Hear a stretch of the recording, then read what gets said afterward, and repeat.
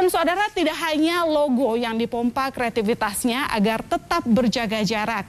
Pemegang merek dagang otomotif di Indonesia juga beradu rayu memikat konsumen secara virtual. Maksudnya apa? BMW, lalu MG, kemudian Toyota merilis otomotif baru lewat YouTube.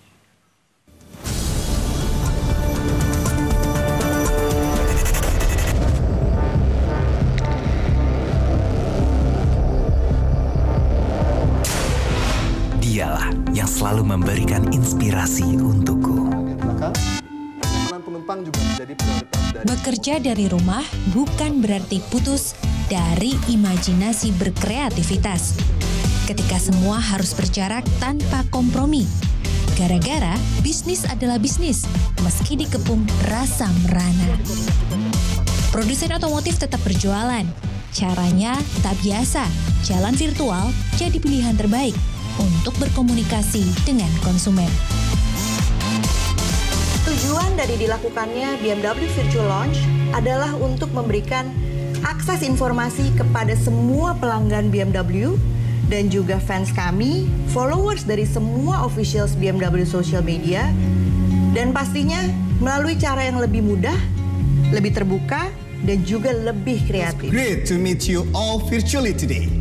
Saya yakin sebagian besar dari Anda sudah mendengar produk perdana kami. Baik itu dari nama, modelnya, atau bentuknya seperti apa. Dan tentu sebagai bentuk dukungan MG Motor Indonesia kepada pemerintah Republik Indonesia di tengah masa sulit terkait pandemi COVID-19 ini, maka izinkan kami, MG Motor Indonesia mempersembahkan sesi peluncuran secara virtual Gen X, Gen Y, and Gen Z. Selamat pagi dan selamat datang di channel YouTube Toyota Indonesia. Hari ini sebuah hari istimewa, di mana untuk pertama kali Toyota akan melaunching sebuah produk melalui digital channel YouTube Toyota Indonesia. Acara ini pun bisa disaksikan melalui Facebook Live Toyota Indonesia.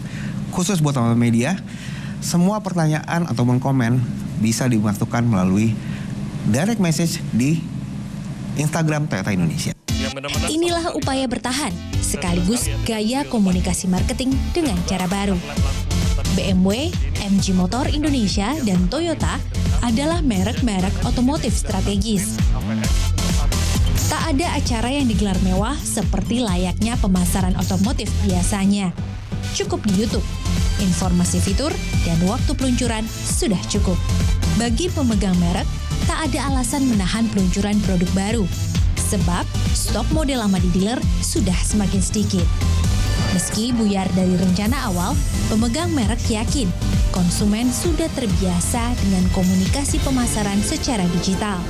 Buktinya, jumlah klik di YouTube BMW misalnya sudah tembus di atas 1,3 juta kali. Tim Liputan Kompas TV.